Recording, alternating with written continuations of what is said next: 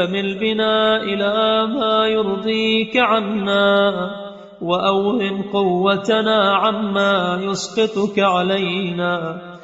تو ہمیں ادھر موڑ دینا جس میں تیری رضا ہو۔ اور اس کام سے ہمیں بے دست و پا کر دینا جو تجھے ناراض کرنے والا ہو۔ ولا تخل في ذلك بين نفوسنا واختيارها۔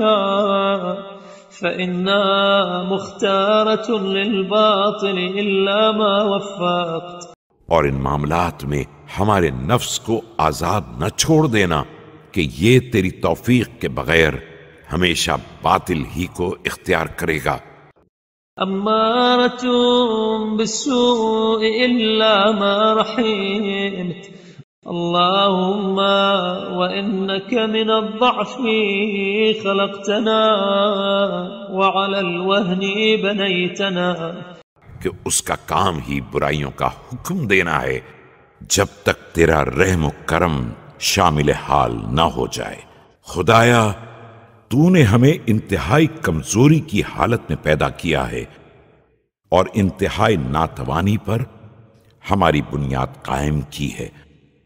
ومن ماء مهين ابتدأتنا فلا حول لنا إلا بقوتك ولا قوة لنا إلا بعونك. اور ایک گندے پانی سے ہمارا آغاز کیا ہے، تو اب تیری طاقت کے بغیر ہماری کوئی تدبیر نہیں ہے۔ تیری مدد کے بغیر ہماری کوئی قوت نہیں ہے۔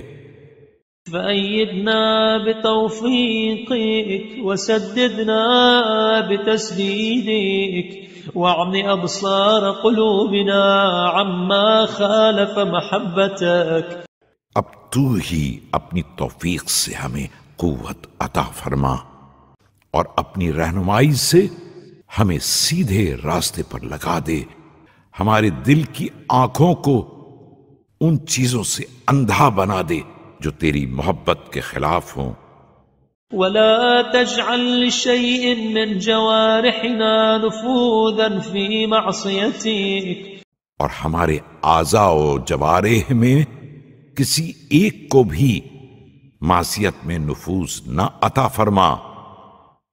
اللهم فصل على محمد وآله واجعل همسات قلوبنا وحركات أعضائنا. خدایا محمد و آل محمد پر رحمت نازل فرما اور ہمارے دل کے خیالات اعضا کی حرکات ولمحات أعيننا ولهجات ألسنتنا في موجبات ثوابك. آنکھوں کے اشارات زبان کے بیانات سب کو اپنے ثواب کے اسباب میں قرار دے دے۔ حتى لا تفوتنا حسنا نستحق بها جزاءك ولا تبقى لنا سيئة نستوجب بها عقابك تاکہ ہم سے کوئی وہ نیکی جانے نہ پائے جس میں تیری جزا کا استحقاق پیدا ہوتا ہو اور ہماری کوئی ایسی برائی باقی نہ رہ جائے جس سے عذاب کا استحقاق پیدا ہوتا ہو۔